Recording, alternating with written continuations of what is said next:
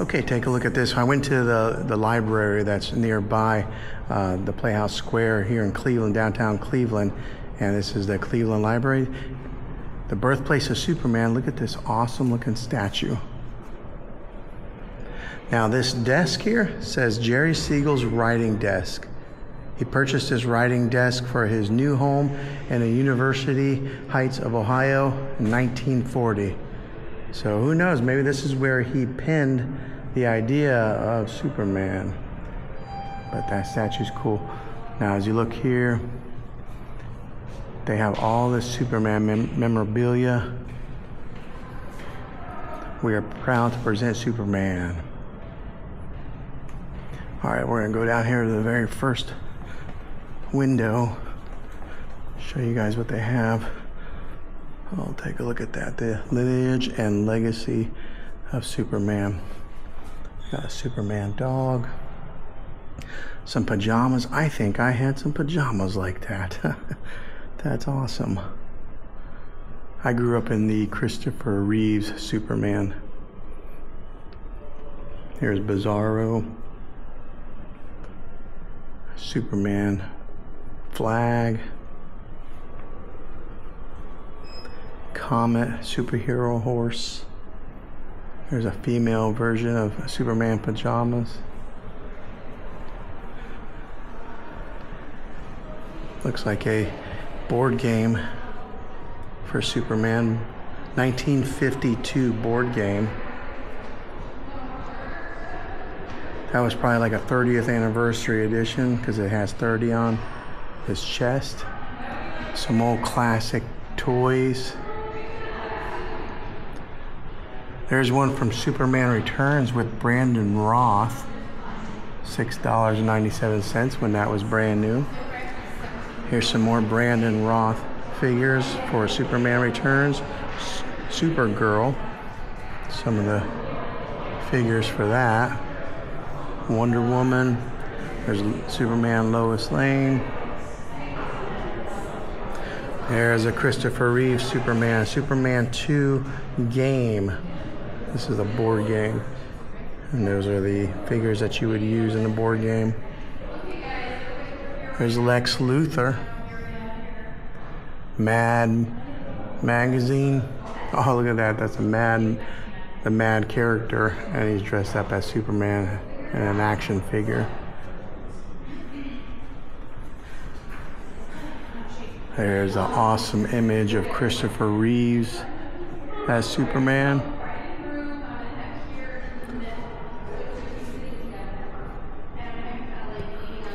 Uh, that's where they had the release of the Stamp Action Comics Superman stamp, and then there's a coin. There's a really cool picture of Christopher Reeves dressed up in his Superman costume. TV guide, some VHS tapes, and here's a Superman telephone. This looks like an H or an eight track tape, some pencils, Superman in Exile. Uh, there's a Superman 3 in summer of 1983 with Richard Pryor when he was in that film. Superman 1 and 2 were regarded as the best ones, and they said with number 3 it started to kind of tail off a little bit. But here's some more, uh, some that promote reading. Go above and beyond, read. There's the very first Action Comics where they introduced Superman in the comic books.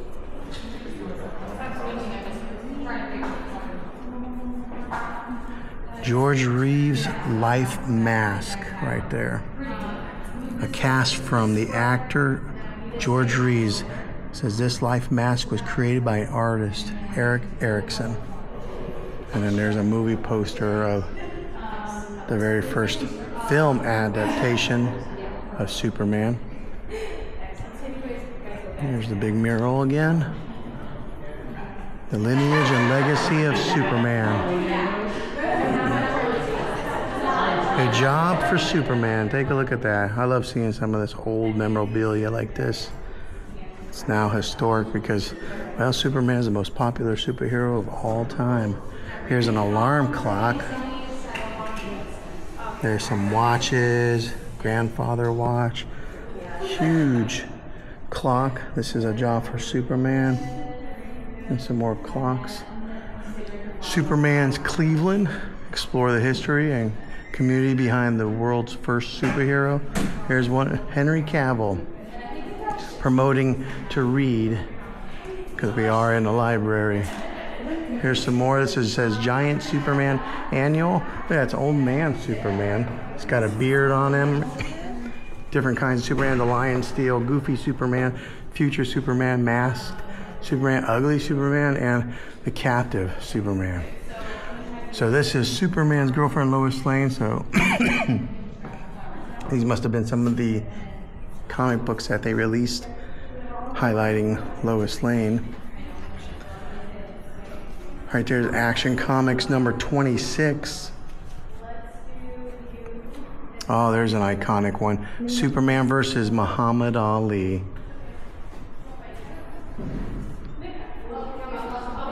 Right there. Here's some more artifacts and old lunch boxes of Superman. This one's really cool because that one looks like Christopher Reeve. But I remember when I was in elementary school, kids having these lunch boxes.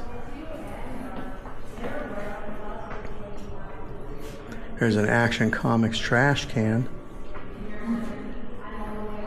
All right, and then we got one more window over here. and these are the creators of Superman, Siegel and Shuster.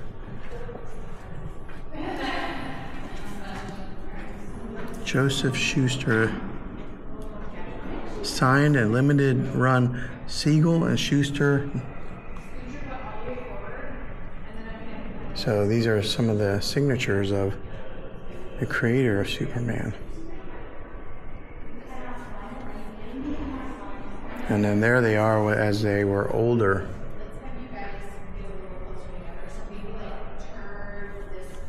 Here's a fun bit of information dealing with the creators of Superman. They sold the rights to Superman for $125 to DC Comics. and then DC Comics made millions upon millions, if not billions of dollars.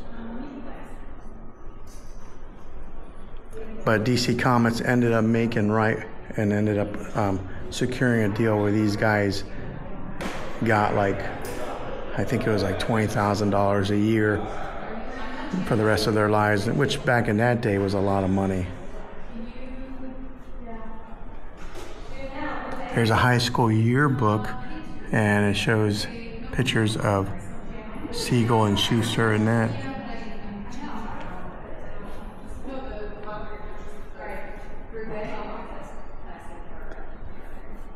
And then there's some of the other comics that these fellas created that didn't become as popular as Superman.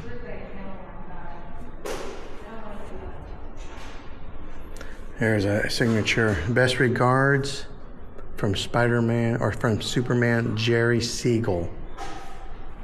His autograph is at the bottom of that. Okay, this is the uh, Superman exhibit at the Cleveland Library here.